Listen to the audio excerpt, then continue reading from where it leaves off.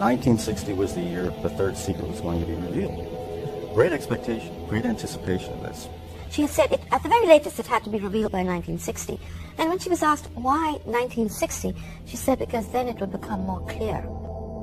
And we waited, and we waited, and still nothing, and nothing, and nothing. I remember the feeling. I can only describe it as a kind of spiritual desolation when I learned that the decision had been made and the third secret would not be revealed. So to dismiss the message of Fatima is to dismiss prophecy as such. Some of us have figured out what the third secret is. We, with the help of people who read the secret,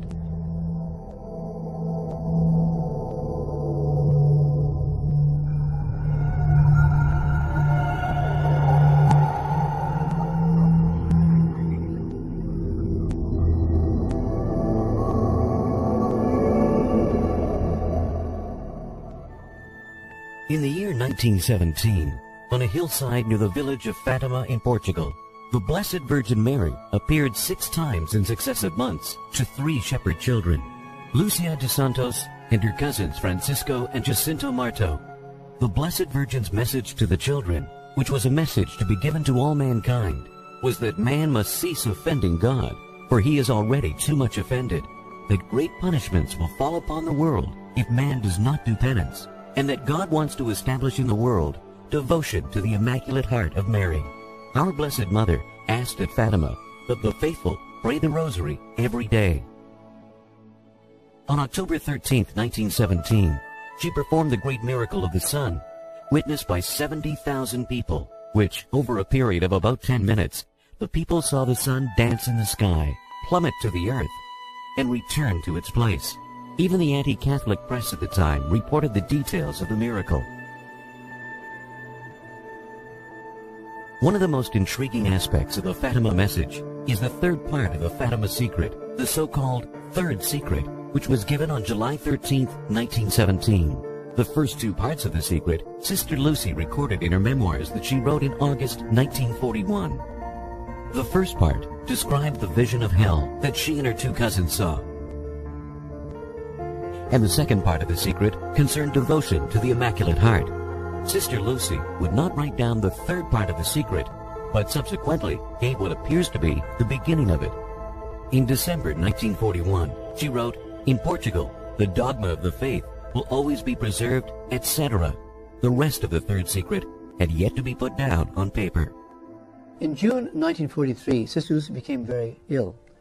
She became so sick that by September, the Bishop of Fatima was worried that she might die. And he was concerned that she might die and not write down the secret, the third secret. And so he went to her and suggested to her that she write it down so that the secret would be uh, not published at this time, but at least it would be there for the record. And Sister Lucy became quite concerned. She felt this was a tremendous responsibility. You see, the bishop had only suggested, and the bishop was not taking responsibility if she thought it was a good idea, is how he put it, something like that. And so Sister Lucy thought about it and told the bishop, if you give me an order, if you give me a formal written order to write it down, I will obey.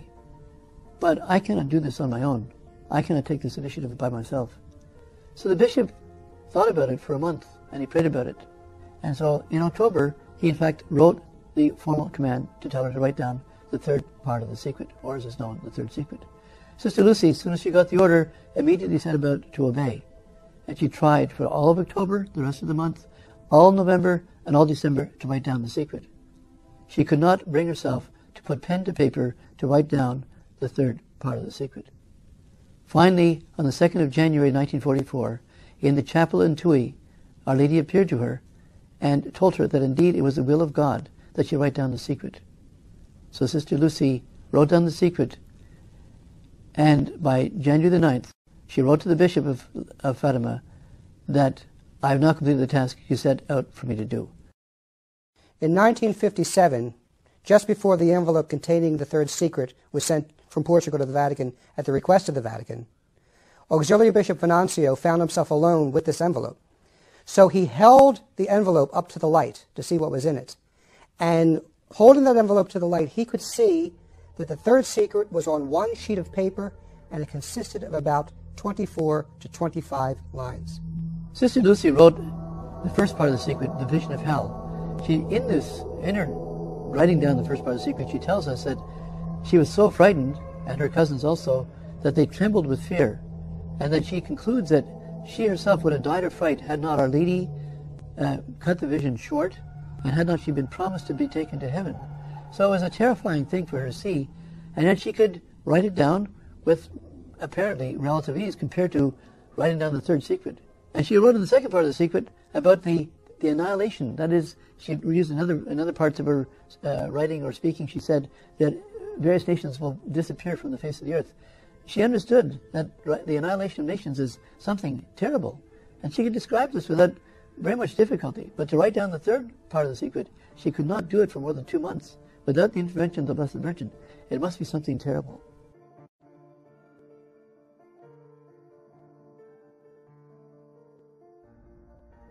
The two envelopes containing the secret were ultimately transferred to the Vatican in 1957. Sister Lucy had written on the outside of each of the envelopes that the secret was to be opened and revealed to the world in 1960. Canon Barthas writes about his meeting with Sister Lucy in 1946. She was with the Bishop of Fatima. And Canon Barthas asked, when will the third part of the secret, or the third secret, be released? And they both said 1960. He asked, why 1960? And they both replied, because the Blessed Virgin wishes it so. Now in 1955, Cardinal Ottaviani met Sister Lucy on May 17th. After he had been to Fatima, he went to Coimbra. And there he asked Sister Lucy, why 1960? And she answered, because it will be clearer. In January 1959, Pope John XXIII announced the forthcoming Second Vatican Council. In August of the same year, after having read The Secret, he was reported to have said, The third secret does not concern the years of my pontificate. Thus, 1960 came and went, and despite the Virgin's explicit request, the secret was not revealed, even though the entire Catholic world was awaiting its publication. In February 1960, a high Vatican official made an anonymous report to the press stating, It is most likely that the letter in which Sister Lucy wrote down the words of the Virgin, which Our Lady confided as a secret to the three little shepherds, in the Cova da Iria will never be opened. It is most probable that the secret of Fatima will remain for A first clue as to its contents is to be found in the year of its intended publication, 1960.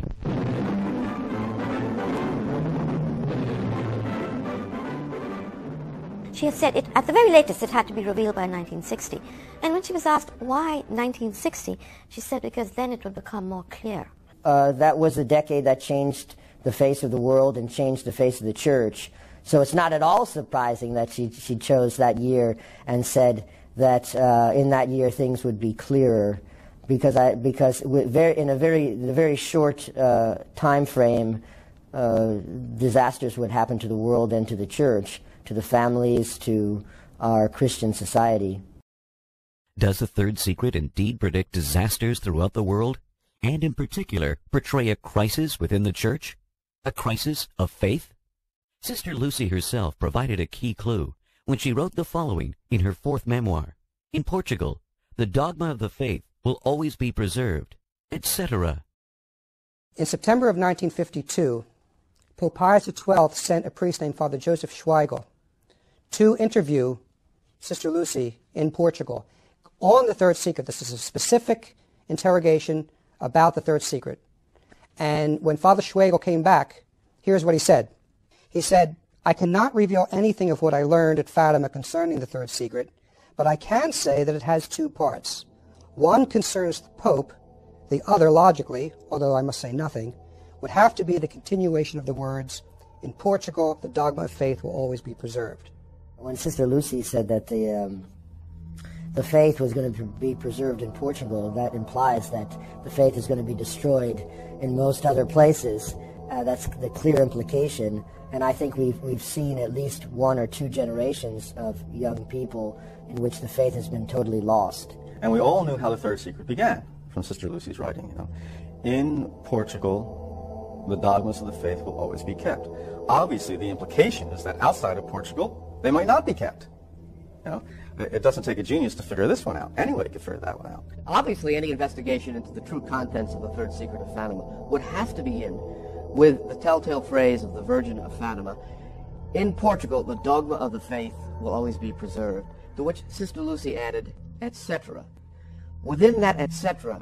is a world of meaning. Within that etc., we will probably find out what happens to dogma in other parts of the world outside of Portugal, and we will also find out the full contents of the third secret of Fatima. So our investigation has to begin with the question, what is contained in that etc.? Fatima scholars are in agreement that within the mysterious etc., one will find the words of the Virgin Mary, which predict a great crisis of faith within the Catholic Church, a loss of dogma outside of the nation of Portugal, and an apostasy reaching even the highest levels of the Catholic hierarchy. And this is confirmed by those who have actually read the text of the third secret. Cardinal Alfredo Ottaviani was prefect of the uh, of the Holy Office, and at the time the Holy Office was the preeminent dicastery of the Roman Curia. Uh, he was the one who pronounced on orthodoxy and also had the jurisdiction over the final approval or disapproval of apparitions. He stated in, his, in an address he gave in 1967 at the Antonianum that the third secret of Fatima is set forth on one sheet of paper. Cardinal Oddi said that the third secret has nothing to do with Gorbachev. Our Lady was warning us against the apostasy in the church. Uh, Bishop Amar do Amaral of Fatima in 1984, he said the third secret has nothing to do with atomic bombs or Pershing missiles. It concerns the faith. Cardinal Mario Luigi Ciappi uh, was a Dominican priest who had been made a cardinal by Pope Paul VI. He was papal theologian under Paul VI, John Paul I, and early in the reign of Pope John Paul II. Cardinal Ciappi uh, stated in his letter to Professor Baumgartner that in the third secret, it is revealed, among other things, that the great apostasy in the church will begin at the top. Father Joaquin Alonso, who died in 1981, was the official archivist at Fatima for 16 years and had many conversations with Sister Lucy. Here is what he had to say about the secret. It is therefore completely probable that the text makes concrete references to the crisis of faith within the church and to the negligence of the pastors themselves in the internal struggles in the very bosom of the church and of grave pastoral negligences of the upper hierarchy. One of the most important testimonies regarding the contents of the secret came from an interview given by Joseph Cardinal Ratzinger, now Pope Benedict XVI. At the time, he was the prefect of the Vatican Congregation for the Doctrine of the Faith, and as such had access to the secret, and he read it. Cardinal Ratzinger, in his 1984 interview with Jesus magazine, he said that the third secret concerns the dangers to the faith, to the life of the Christian, and therefore to the life of the world. Does this crisis of faith, identified by the witnesses who have read the Third Secret, have anything to do with the Second Vatican Council? The council began scarcely two years after 1960, the year the Third Secret was supposed to have been revealed. Given the period of unprecedented upheaval and scandal in the Catholic Church following the council, a growing number of Catholics are convinced of a link between the Third Secret and the council and its aftermath, especially the changes in the Catholic Mass which began in the early 1960s. In the 1930s, when he was still Vatican Secretary of State, the future Pope Pius XII made an astonishing prophecy about the upcoming upheaval in the Church. He predicted with terrific degree of accuracy just about everything that was going to go wrong in the Church. And his prophecy is recounted in the biography of Pius XII by Monsignor Roche. Let me read to you from that prophetic remark. I am worried by the Blessed Virgin's messages to Lucy of Fatima. This persistence of Mary about the dangers which menace the Church is a divine warning against the suicide of altering the faith in her liturgy, her theology, and her soul. I hear all around me innovators who wish to dismantle the sacred chapel, destroy the universal flame of the church, reject her ornaments, and make her feel remorse for her historical past. A day will come when the civilized world will deny its God, when the church will doubt, as Peter doubted. She will be tempted to believe that man has become God. In our churches, Christians will search in vain for the red lamp where God awaits them. Like Mary Magdalene, weeping before the empty tomb, they will ask, Where have they taken him? So about 30 years before the Second Vatican Council, the future Pope Pius XII predicted everything that would go wrong during and after the council in the Catholic Church. He predicted drastic changes to the liturgy, so drastic that people would not even be able to find the sanctuary lamp in Catholic churches. He predicted theological changes. He even predicted this movement in the church to make the church apologize for her own past, as if the church were to be ashamed of everything that had gone before and should feel remorse for it. And he linked these predictions to the message of Fatima, which is very interesting because none of the words of the Virgin of Fatima published to date contain any reference to these catastrophic developments in the church. Clearly, Pope Pius XII was referring to a portion of the message of Fatima containing words of the Virgin Mary which we have yet to see. It's curious that, that Pius XII, he, he made a, an interesting comment when he was still Cardinal Pacelli about Sister Lucy and the upcoming events. He, he mentioned that uh, there was a there would be attempts by people to destroy the faith by altering her liturgy and faith and these other things. But liturgy was first on the list. I remember my mother uh, had been away from the church for a while. I got her to come to a mass, and she had a very hard life. Her mother had died when she was young. She was put out to foster homes. The first time she saw the, the new mass, she said, oh, I know this. I was living with some Presbyterians for a year once, and this is what they used to take me to. Cardinal Ratzinger at one time stated that the new liturgy of Pope Paul VI was a banal on-the-spot fabrication. So he was rather blunt in his opinion of what uh, he thought of the, the new liturgy of Pope Paul VI. He didn't think much of it. What's very clear is that with the changes that took place in the Church after the Second Vatican Council, there were enormous changes in the liturgy. It is, it has long been stated that um, the way in which we pray connects directly with what we believe.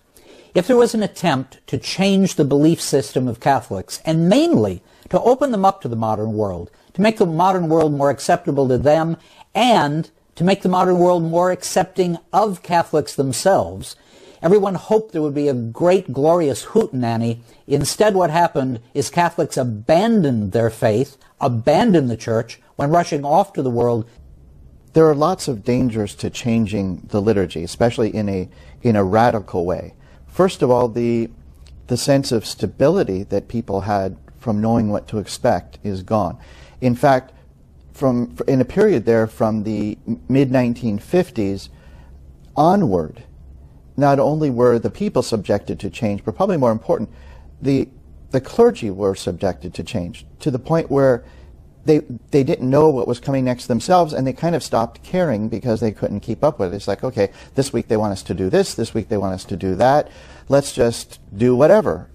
Uh, I, I, remember one, one of the first bizarre masses we had in 1965 at my parish church. Afterwards, people were exiting the church and they were unsettled. But I remember this old woman on my street saying to another old woman, they lived down at the corner next to each other, she was saying, Well, I guess it's better now that it's in, in English they seemed doubtful. And everyone was saying that, but everyone was ceasing to go to church. Elements of Protestantism, uh, both in the symbolism and in the wording uh, of the liturgy, were brought into and mixed into uh, a, Catholic framework to the extent that uh, the makers of the New Rite flatly stated that this is no longer the Roman Rite, it is a new creation. I would sum up the effect of the changes of the liturgy in the last 40 years on, on the faithful as there's no more faith in the faithful. Even Cardinal Ratzinger, who was now Pope Benedict XVI, said that the liturgical changes which followed the Second Vatican Council were a breach in the history of the liturgy, whose consequences can only be tragic. But the crisis in the Church also includes other changes. In his prophecy in the 1930s before the Second Vatican Council, the future Pope Pius XII spoke not only of the suicide of altering the faith in the Church's liturgy, but also in her theology. And here we see emerging in the post-conciliar period the theological novelty of the modern ecumenical movement. The priests began talking differently, using strange language we'd never heard before. They started talking about dialogue and being ecumenical. Vatican II brought in the new era of ecumenism. The Church always taught that there is only one true faith, one true church outside of which there's no salvation. And the purpose of Catholic churchmen and missionaries is to go forth, teach all nations, and baptize them in the name of the Father and the Son and the Holy Ghost, and bring them in to the one ecclesia that our Lord established. But with the Second Vatican Council's new ecumenism, they set up a, they adopted, I should say, a different form of church oneness and church unity that you can trace it point by point that came actually from the Protestant World Council of Churches. The priest that was the moderator for the Forensic Union, the debate team that I belonged to, jumped into this with both feet. He joined something called the Confraternity of Christians and Jews, which was designed to demonstrate the irrelevance of dogma in life. Unfortunately, when we speak of ecumenism, we're not simply talking about propositions, doctrines set forth in the documents of the Second Vatican Council. There are consequences uh, to these teachings because these are not something that are simply considered in the classrooms theoretically. The promulgation of the, of the uh, decrees on ecumenism and religious liberty uh, have, have spawned in the church a, n- a new orientation in the church, an opening up uh, of interreligious dialogue, of encouraging Catholics to become involved uh, with members of other churches and other religions in such a way that has caused great confusion and even loss of faith among the Catholic people. What it leads to, I think, is a, a, very good concrete example is the desecration of the sanctuary of Our Lady of Fatima that took place a couple of years ago when the rector, Monsignor Luciano Guerra, invited the Hindus uh, and a Hindu priest into the shrine of Our Lady of Fatima. And they offered, and the, and the Hindu priest wearing Hindu vestments performed the pagan idolatrous ceremonies of Hinduism on the Catholic altar at the shrine of Our Lady of Fatima, at the Cappellina, the little chapel, the place where Our Lady appeared. There are no other churches that our Lord would found as a, as a, as a means to salvation. There is only one religion. God cannot reveal different religions with contradictory ideas about himself, about the, the way how to save one's soul. So to accept this unity in plurality means to reject the Catholic Church and Catholic religion. It goes together. The new church has become ecumenical, as I call it, and turning anywhere and everywhere to embrace all other religions. The only thing in the modern church that is not acceptable is tradition. See, the thing is, all you need to do is look at what happened to the church after 1960, and it's fairly clear what the third secret is, what Our Lady wanted us to know in 1960. It's clear. The real secret has to do with the collapse of the faith, coming from the upper hierarchy. And we know this also because the two things that we see from Sister Lucy that bracket the third secret 1957, the famous interview with Father Fuentes, when she says God is about to punish the world. And the way God is going to punish the world, she says, is there's going to be a great loss of faith among priests and religious. Then, after the third secret was supposed to be released around the end of the 1960s, she's talking about a diabolical disorientation of the upper hierarchy. So these two messages, these two warnings from Sister Lucy bracket the third secret. The collapse of, of, of, priests and bishops who are going to, uh, to stray from their vocation. And you don't stray from your vocation by leaving necessarily. You stray from the, your vocation also by staying in and corrupting the faith from within. And then she talks about precisely that at the end of 1960, a diabolical disorientation of the upper hierarchy. These are the things we have from Sister Lucy that bracket the year 1960. Lucy of Fatima, she described what's happening in the world as, as the effect of a diabolical disorientation. I, th- I think this, this diabolical disorientation is associated with the third secret.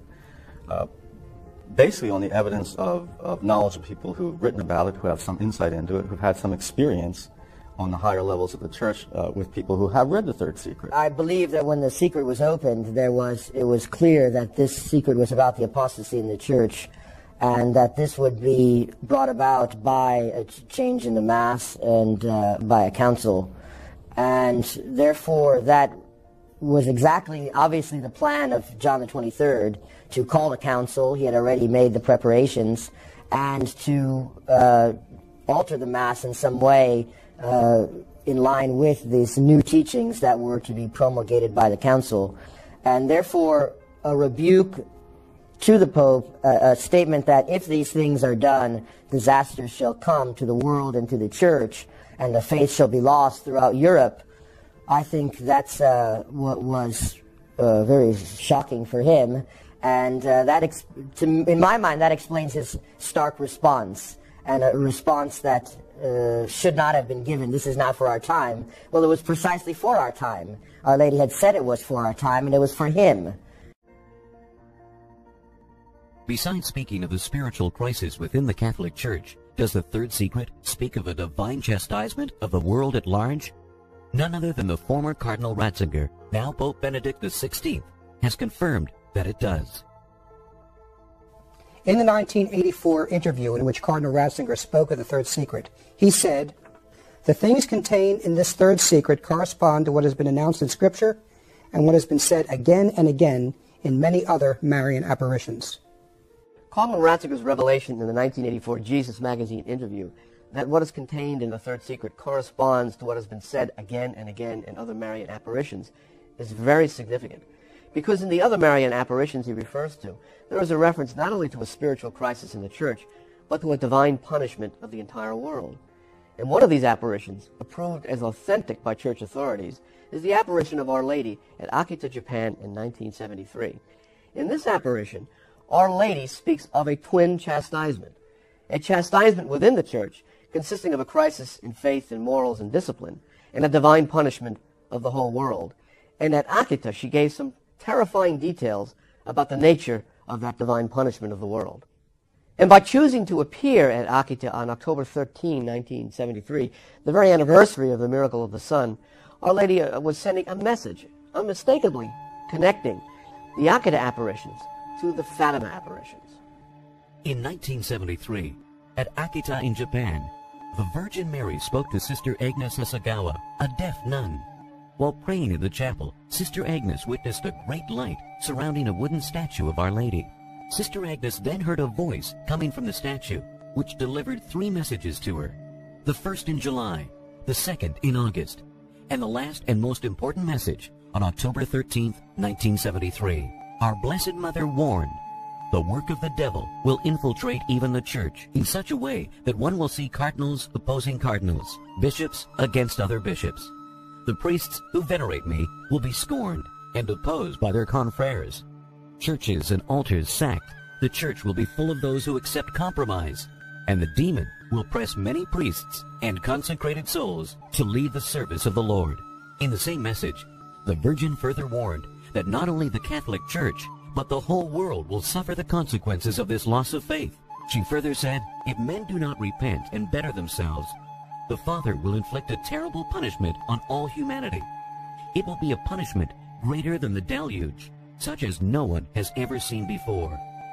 Fire will fall from the sky and will wipe out a great part of humanity, the good as well as the bad, sparing neither priests nor faithful.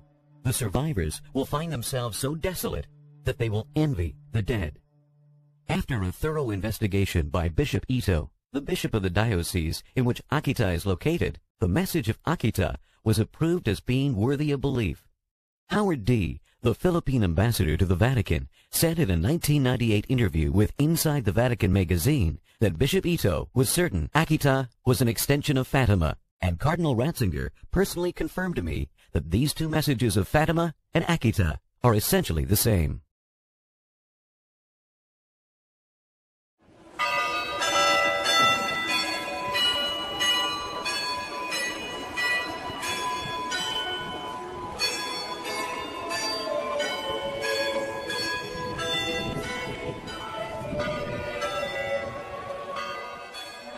Over a million people from all over the world came to Fatima on May 13, 2000 for the beatification ceremony of Jacinta and Francisco Marto, the two Fatima visionaries. During his homily, Pope John Paul II referred to the great red dragon in chapter 12 of the Apocalypse. He said the message of Fatima is a call to conversion, alerting humanity to have nothing to do with the dragon whose tail swept down a third of the stars of heaven and dragged them to earth. Then came the surprise announcement. Cardinal Sodano, the Vatican Secretary of State, announced to the pilgrims that in the near future the third secret would be officially revealed. He then spoke of the secret containing the vision of a bishop clothed in white, who shortly after making his way amid the corpses of victims, falls to the ground, apparently dead, under a burst of gunfire.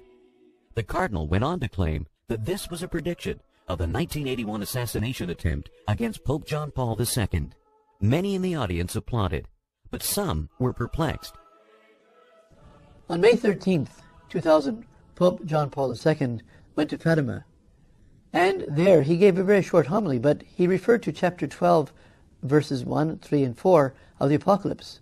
And in fact, he told us that the message of Fatima is for our time and telling us to be on our guard against the tail of the dragon which is dragging down a third of the stars of heaven. Clearly, this language is not found in the published parts of the secret that I know of. It must be in the secret. However, Cardinal Sodano, shortly after the Pope finished his talk, gets up and announces that the third secret will be released in the near future, but he suggests that it refers to an event in the past. Now, here we have Pope John Paul II telling us it's about our time, it's a warning for us today, and we have Cardinal Sodano telling us, well, it's in the past, it's about the assassination attempt. Cardinal Sodano, in the year 2000, was the Secretary of State. Now, his job is dealing with states, dipl- diplomacy, and things like that. The matter of Fatima is a matter that is really the competence of the Office of the Doctrine of the Faith and that was Cardinal Ratzinger's uh, position. Now, I don't understand why Cardinal Sodano was the one making this announcement when Cardinal Ratzinger, as far as I know, was present at the same time. However, it was Cardinal Sodano that made this announcement. Why was he making this announcement? And why was he, what was he preparing us for? On June 26, 2000, the Vatican released what it claimed was the entire text of the Third Secret of Fatima, which consisted of 62 lines of text written by Sister Lucy on what appeared to be four sheets of paper. Those four pages, which contain no words of the Blessed Virgin Mary, present an ambiguous vision. An angel is holding a sword that gave out flames that looked as though they would set the world on fire. The flames are repelled by the Blessed Virgin. Then a bishop, clothed in white, apparently the Pope, is seen hobbling through a half-ruined city filled with corpses. The afflicted pope makes his way to the top of a hill outside the ruined city, and kneeling before the cross, he is killed by a group of soldiers who fire bullets and arrows at him. And in the same way, there died, one after another, the other bishops, priests, men and women religious, and various lay people of different ranks and positions. Two angels gather up the blood of these martyrs and sprinkle it on the souls making their way to God. The Vatican commentary on the purported secret suggested that this vision pertains to the failed assassination attempt on John Paul II on May 13, 1981, in which the Pope was not killed. Given the lack of any explanation of the vision by the Blessed Virgin herself, Catholics were widely skeptical about the completeness of the Vatican's disclosure. How could the Virgin Mary have remained silent on the meaning of the third secret of Fatima? According to the Vatican's interpretation of the Third Secret of Fatima, which is essentially Cardinal Sodano's interpretation, this ambiguous vision of the bishop in white being killed at the top of a hill before a large wooden cross is basically all there is to the Third Secret of Fatima, and it relates essentially to the assassination attempt, the failed assassination attempt in 1981. The only problem with this attempt at an interpretation is that it fails to mention any of the things that Fatima scholars, those who read the Third Secret, anyone who had any knowledge of this matter, knew were involved in the Third Secret. The loss of faith in the church, the liturgical changes, all of the things talked about in the prophecy of Pius XII about the suicide of altering the faith in the church's liturgy, theology, and soul, the apostasy in the church that begins at the top, There isn't a single reference to any of this in the Vatican's interpretation of the third secret. And why is that? Because what they published in June of 2000 doesn't contain a single word of the Blessed Virgin Mary to explain the vision of the bishop in white. She is utterly silent on the contents of the third secret, and that doesn't add up. You know, Sister Lucy said that the secret should be opened in 1960 because it would become clearer then. Then we were told in 2000 that the third secret was about an assassination attempt against John Paul II in 1981. Why would an assassination attempt in 1981 become clearer in 1960? The Vatican put out its interpretation of the third secret of Fatima in the year 2000. If it had been a plebe paper that I had received from one of my plebes in the freshman English course at the Naval Academy, I would have flunked it because the interpretation does not in any way correspond with the facts. I gave a talk one time on the third secret, and I read word for word what was released in the vision. And then I said to the audience, and the Vatican's interpretation of this is that this is a prediction of an assassination attempt against Pope John Paul II, and I have the recording. The audience laughed. The audience laughed at it because at face value it's just nonsense. Does the Vatican's interpretation of this vision make any sense? Well, uh, Sister Lucy explains in her own words uh, uh, how she understood uh, this vision and what she saw. She depicted what she saw. This bishop in white, white, who is presumably the Pope, is, is shot and killed by a band of soldiers. Uh, the Vatican's interpretation is that somehow this refers to the assassination attempt on the life of John Paul II, of course, uh, there are problems there. John Paul II was not shot by a band of soldiers. He was shot and wounded by one lone gunman. Uh, I think that alone is enough to, uh, to dismiss uh, the Vatican's interpretation uh, as, as being nonsensical because it simply does not add up. It makes no sense it just it doesn't make any sense that there would be so so much fuss and weeping and gnashing of teeth on the part of people who saw the third secret before that if it was about an assassin, assassination attempt which wouldn't succeed anyway. It's so silly. Even the New York Times looked at it and went, huh? The Washington Post said very clearly, look, Cardinal Sodano said that the Pope falls apparently dead. But the vision of the secret leaves no doubt of what happens to the Pope. It says he's killed. So, Your Eminence, you weren't being honest with us. You gave us a falsified picture in order to force fit your interpretation upon it.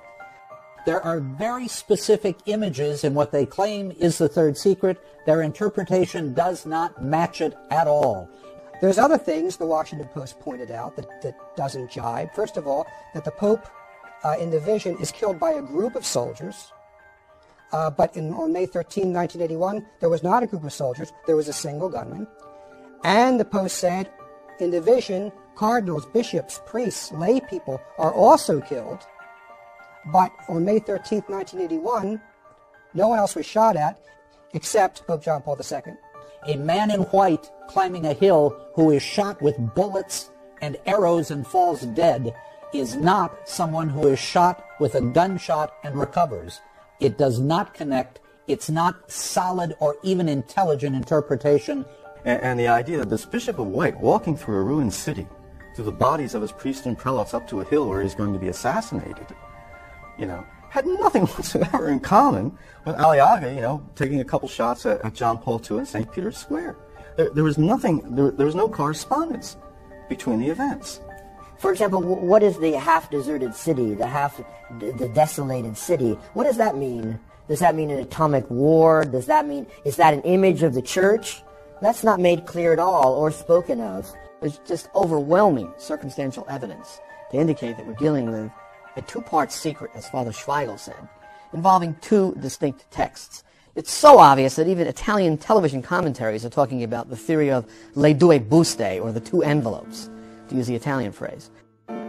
It is impossible not to notice the number of discrepancies between what was known about the secret prior to 2000 and what was revealed on June 26, of that year. We know that the Vatican said in 1960 that it was not going to reveal the third secret of Fatima to the world as expected. And in making that anonymous announcement through a press agency, it referred specifically to, and I think I'm quoting verbatim, the words of the Virgin which she confided to the three seers.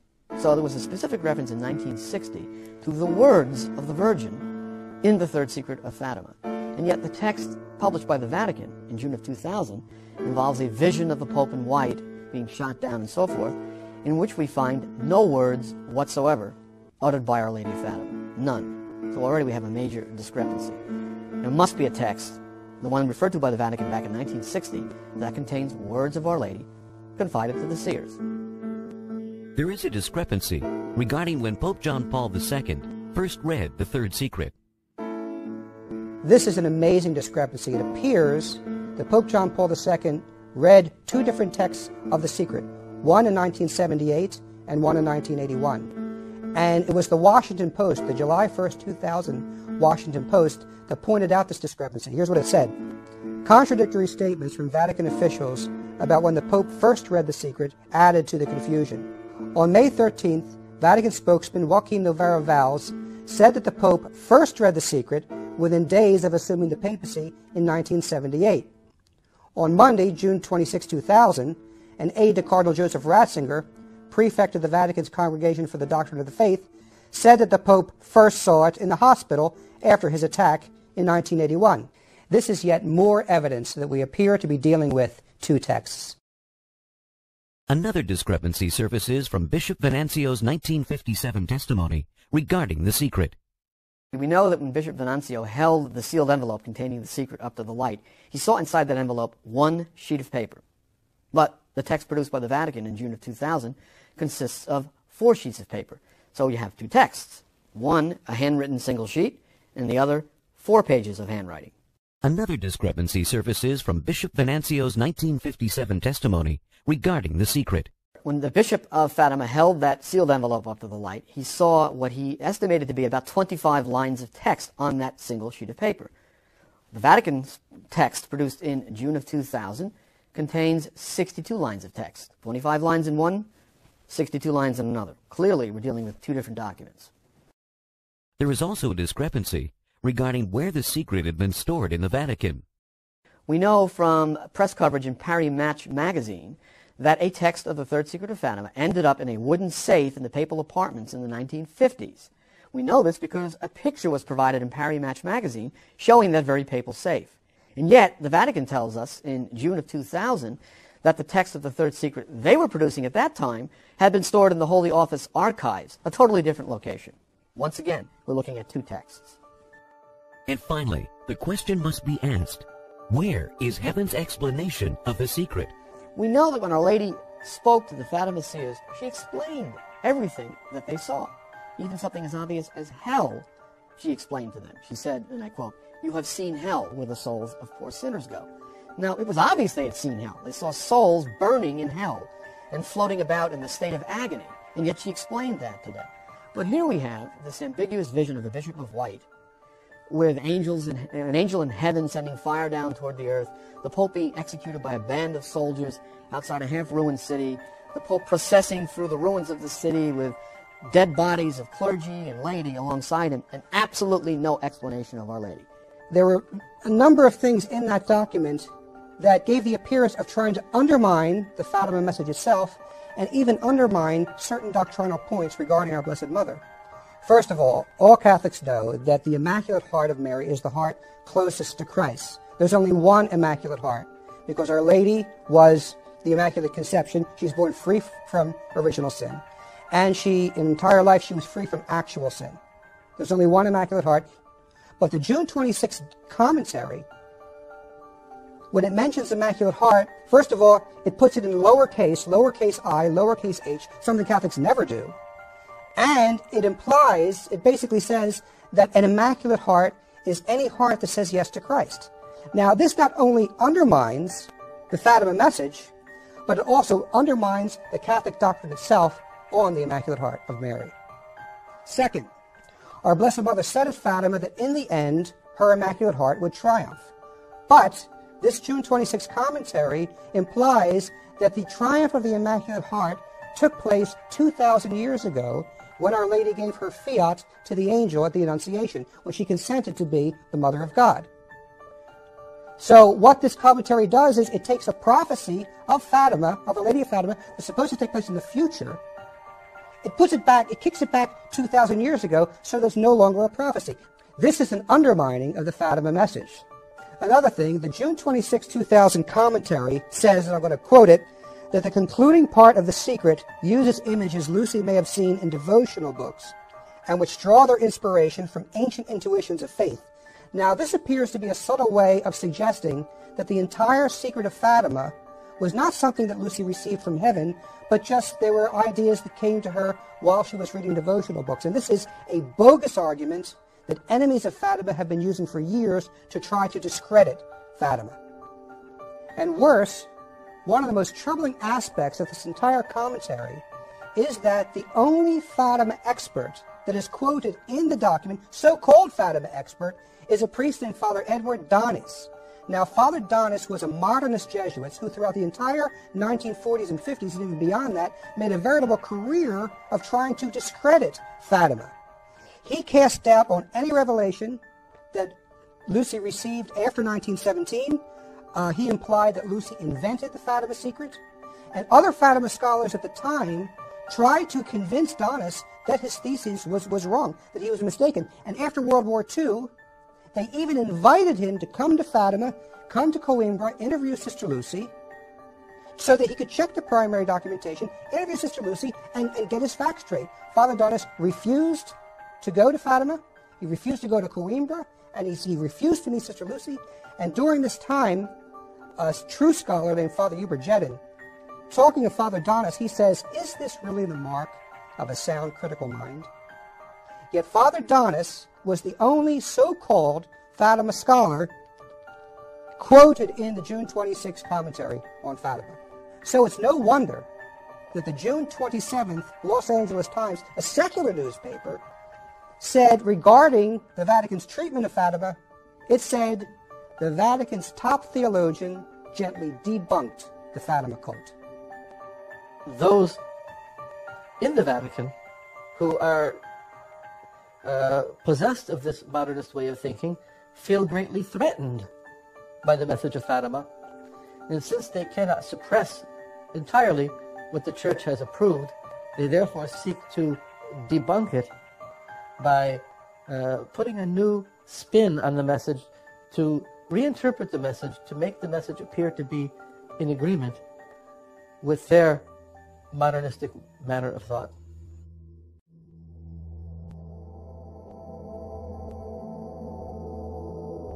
So-called revelation of the third secret in June 2000 was a disappointment to myself and to many people I know because it didn't match the expectation. We were expecting something, uh, significant statement which would surprise us in a way and would explain why the Vatican had kept that secret uh, under wraps for, for 40 some odd years. And um, what they revealed clearly didn't uh, meet expectations. Obviously, I believe that it was part of the, the third secret, but there was some, there's something missing. There's some explanation that's missing. The question has been asked was the Vatican lying to us when they released the secret on June 26, 2000, and said this is the whole thing? I remember a bishop asking this question in Brazil, and Father Kramer gave the answer to him No, Your Excellency, it was by means of mental reservation. What does he mean by this? Well, Antonio Socci also deals with the same question, and he says that when they said they released the whole thing, they didn't say they released it all on June 26, 2000. They released it over time in other places. And so what happened was Pope John Paul II, for example, in, in May 13th, 1982, said, Can the mother, with all the force and love that she fosters in the Holy Spirit and desires everyone's salvation, can't she remain silent when she sees the very basis of her children's salvation undermined?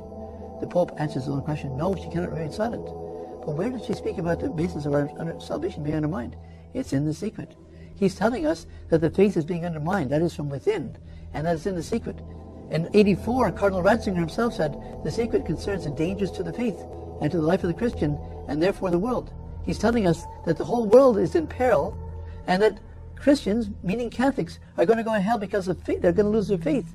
This is releasing the secret, but they didn't say this exactly is the secret. You have to take their speeches, put them together, and figure it out. It's about the Mass, it's about the Council, it's about the faith. That's what the secret's about. But they dare not say it directly. But they did say it here and there, and you piece it together and you get to know the secret. And so, strictly speaking, well, we did tell you the whole secret, but not on June 26, 2000. We told you pieces here and there, but we didn't identify to you when we gave you these other pieces that it was a secret. We have another piece of that which we find, for example, in the Pope's book on May 13, 2000, when he said, the tale of the dragging, dragging down, a, dragging down a third of the stars of heaven. Well, when you know the reference, the stars of heaven referred to are the Catholic clergy. That's Pope, cardinals, bishops, and priests. And when you have a third of those stars, a third of the cardinals, a third of the bishops, a third of the priests, or whatever extra combination to make a third, dragging down and working at the service of the devil, that's powerful stuff.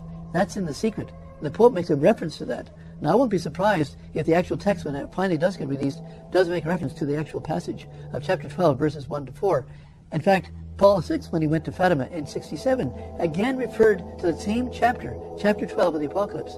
Why that passage? Every time they go there, they talk about that. It's got to be in the secret. And that's why they can say it's been released. But it's really not exactly what should be said because our Lord said in Scripture, He said, Let your words be yes for yes and no for no. Anything else comes from the evil one. In his book, The Fourth Secret of Fatima, Antonio Socci, the leading Italian journalist and television host, concludes there exists a fourth secret of Fatima, or rather, a part of the third secret, evidently what follows the words of the Madonna, interrupted by etc. Socci's book is a bombshell. This is a leading public intellectual in Italy. He has his own television show. He has personally hosted press conferences for both Cardinal Ratzinger and Archbishop Bertone, who at the time was no less than the secretary of the Congregation for the Doctrine of the Faith. This is a witness of unimpeachable integrity. Furthermore, Socci admits in his book that when he began his investigation, he totally accepted the Vatican party line on the meaning of the third secret, only to be totally convinced that there was, in fact, a text that is yet to be published. As he puts it in the book, I had to surrender to the evidence. Once he began to study the case, he had no choice but to conclude, as others have concluded, that there is indeed a missing text. And this is a tremendously favorable development for the effort to discover the truth in this matter. But Socci's book goes even further. His investigation has uncovered the direct testimony of the personal secretary of Pope John XXIII, Archbishop Lawrence F. Capovilla. According to Capovilla, Pope John's successor, Paul VI, called for and read the contents of this envelope on June 27, 1963. However, the Vatican commentary on the vision, published in June 2000, states that Paul VI read a text pertaining to the secret on March 27, 1965, nearly two years later. Socci recounts that when an Italian journalist, Solideo Paolini, asked Capovilla whether this meant that there were two envelopes containing two different texts pertaining to the secret, Archbishop Capovilla replied in Italian, per l'appunto, which translated means precisely so. In his book, Il Quarto Segreto di Fatima, The Fourth Secret of Fatima, Antonio Socci, a great Italian journalist who has never been polemical against the Vatican in his previous positions, and who as well is personally known by the currently reigning Pope and esteemed by the current Secretary of State Tarcisio Bertone, reports in a perfect and absolute literal and exact manner the personal confirmation that Archbishop Capovilla, Emeritus Confidential Secretary of Pope John XXIII, gave to me about the existence of two different texts of the third secret of Fatima. On May 10, 2007, Cardinal Bertone published his response to Socci in a book-length interview entitled The Last Seer of Fatima. Rather than directly responding to the challenges posed by Dr. Socci, the Cardinal instead resorted to personal attacks against the man himself. Throughout the writing of his book, until the present, Cardinal Bertone has refused to speak with Socci, despite the fact that Socci and Bertone previously had been on friendly terms. Dr. Socci easily refuted Cardinal Bertone's book in a newspaper article dated May 12, 2007. Unable to let the matter rest, on May 31, 2007, Cardinal Bertone appeared on the popular Italian television program Porta a Porta to deny the premise of Socci's book. But Socci was not allowed on the program, even though other journalists who knew far less about Fatima appeared on the set to interview the Cardinal. Socci later learned from the television station that Bertone made it clear that he wanted no challenges to his position on the broadcast.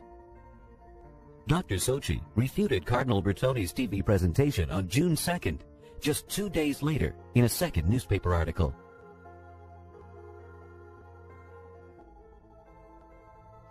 On September 21, 2007, Cardinal Bertone held another event for the official presentation of his book, The Last Seer of Fatima, held here at the Pontifical Urbaniana University in Rome. We are here in front of its entrance. This event was attended by government dignitaries, bankers, Vatican prelates, and members of the press.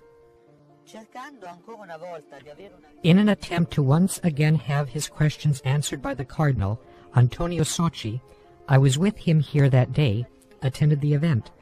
After he learned from the director of the Vatican press office that the Cardinal would not allow any questions to be asked of him, Socci and I proceeded to the main entrance of the auditorium, hoping to ask a question of the Cardinal on his way in, before he would enter inside the Aula Magna for the presentation.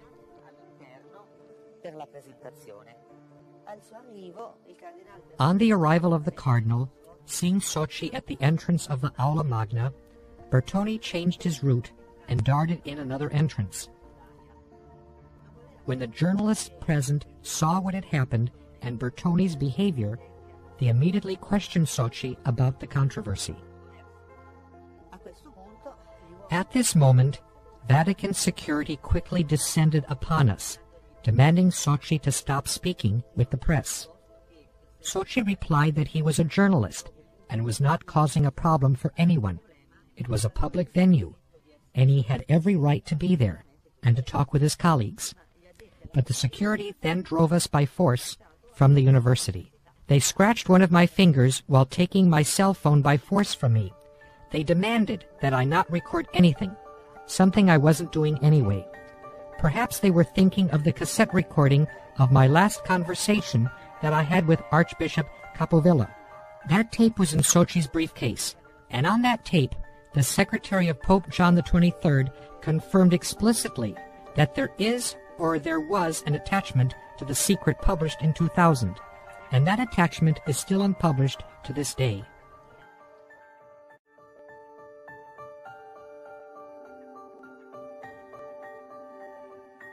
So why is the Vatican doing this? Why would the Vatican? Are they first of all the, amount of, of intellectual degeneration that had occurred to allow them to even present this is plausible uh, scenario is absolutely shocking. But why would they do it? You know, forget why they think they can get away with it. Why would they do it? Because if the third secret is about a diabolical disorientation among the hierarchy, which is going to endanger the dogmas of the faith in many countries, this is obviously an indictment against the hierarchy who's allowed this to happen. If the third secret was warning the faithful that we were going to see a massive destruction of doctrine, a massive destruction of our liturgical practices, so that the great majority of Catholics would really lose the faith. If that's what the third secret was about, and if it added in the fact that perhaps the hierarchy was going to be involved in actually doing this, uh, well, if you were the Pope and you were part of the whole situation, I don't think you'd want it revealed because immediately fingers would be pointed at you. Aha! Are you one of those people that Our Lady's warning us about? I, I wouldn't be surprised at all if there were specifics about how this general apostasy and loss of faith would, would come about. Would be very damning for the people in charge now because they're carrying it out. We can be very impatient with them. There are times we may feel anger with them, but do remember this, that the churchmen in Rome right now are reluctant to reveal the fullness of the third secret in the same way that those of us who are sinners would be reluctant to go into the town square and broadcast our own sins. We have made mistakes. Fortunately, we do not have the same burden on us. And no more than we would like to reveal something that told the world what terrible sinners we are, The third secret, I think, is being withheld by these men for that same reason.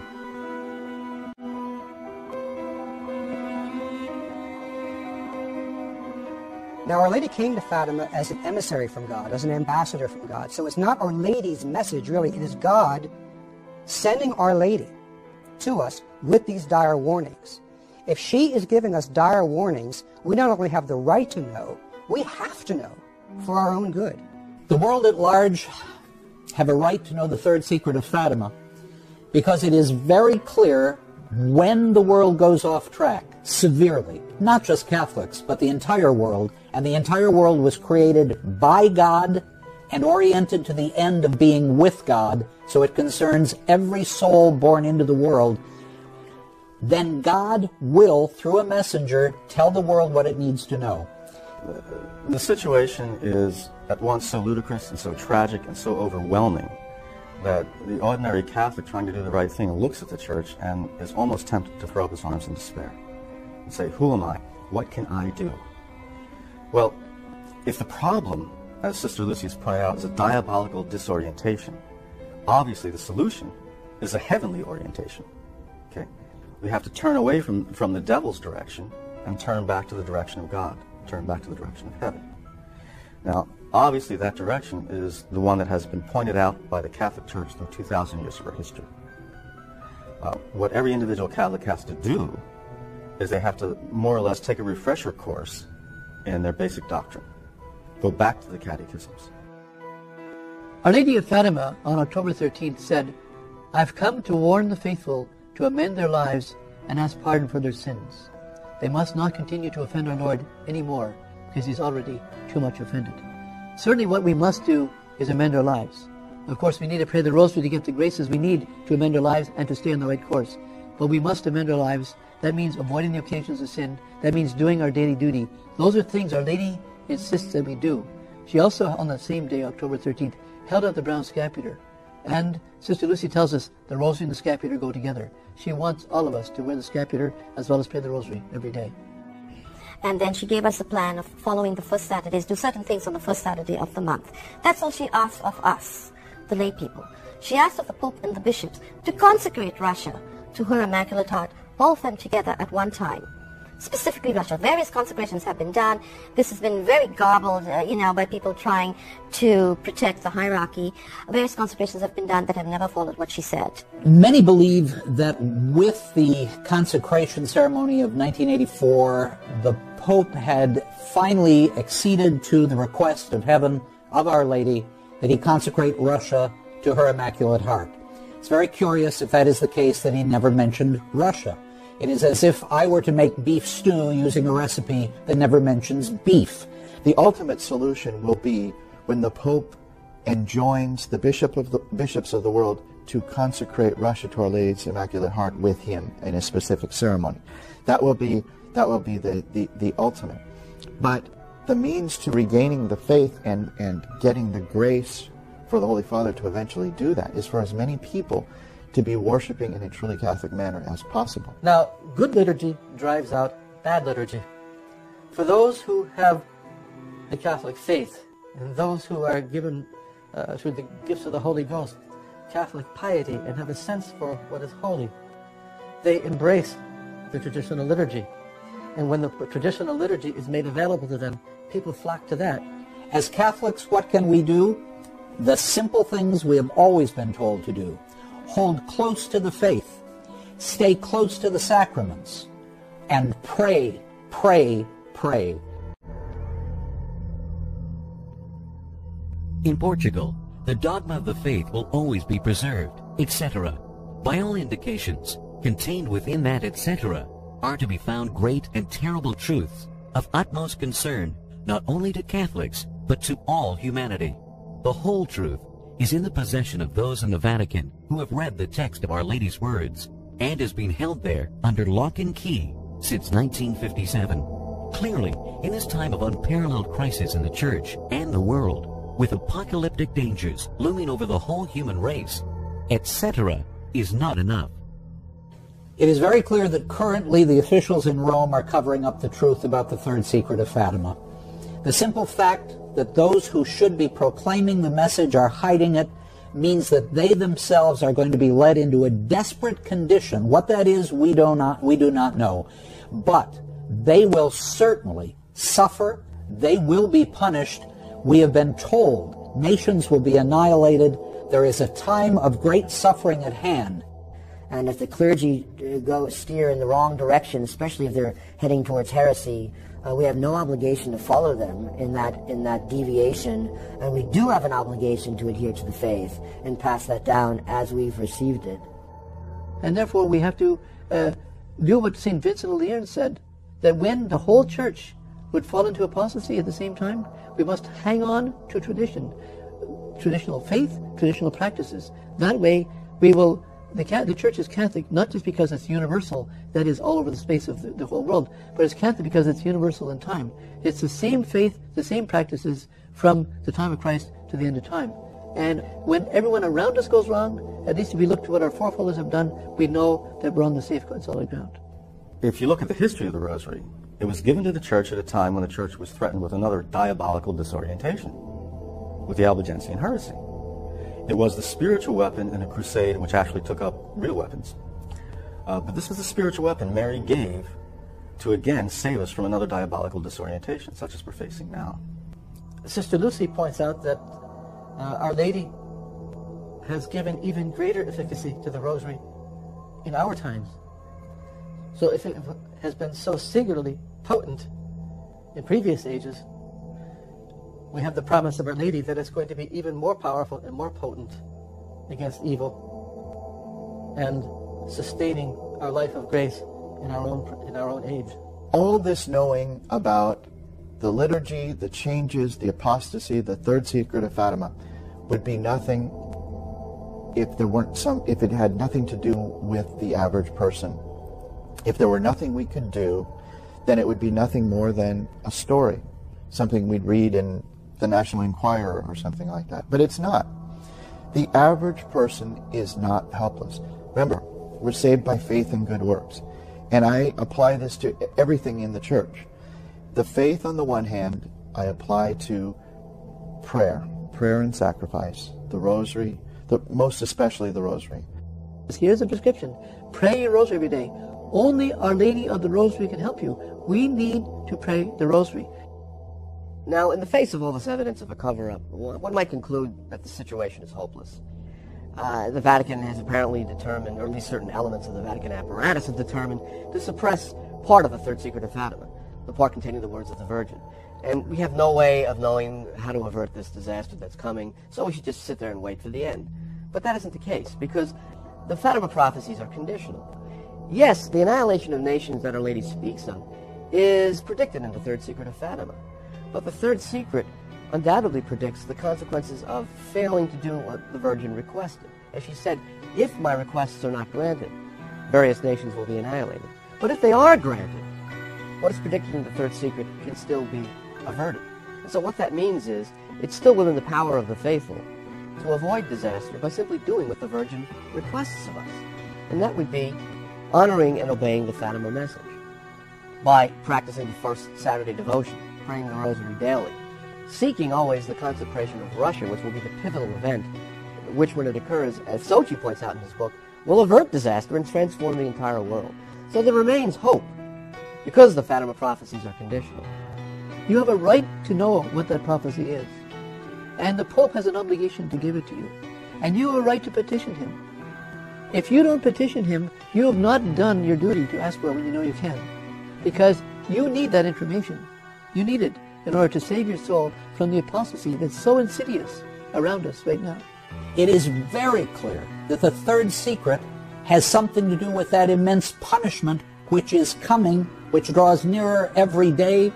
The world must know what's in the third secret of Fatima because the world needs the opportunity to change its evil ways, to repent, to fall on its knees and beg for God's mercy. Our Lady warned at Fatima that if her requests are not heeded, then various nations will be annihilated. So, so, whether someone's Catholic or not, they should have a very keen interest in the Fatima message and also uh, a keen interest that it be obeyed because the ramifications of not obeying the message is not just a Catholic issue. It has ramifications throughout the world. What nation can we say, can any one of us say, well, my nation's not going to be annihilated? It, it concerns everybody. The Catholic churchmen have a duty to tell the Catholic faithful what is contained in the third secret without smokescreen, without obfuscation, without gimmicks, without games, without the nonsense that has gone on in the previous years. The time has come and the third secret must be revealed in its fullness. We have been warned. All of the evidence, including revelations by the highest Catholic churchmen, tells us that the third secret of Fatima prophesizes an unprecedented crisis in the church and a divine punishment of the whole world. The current pope, when he was then Cardinal Ratzinger, admitted that the secret concerns the dangers to the faith and the life of the Christian, and therefore the world. If the message of Fatima is to be believed, and the Church itself says the message is worthy of belief, unless we alter our present course, millions will lose the faith, and millions more will die.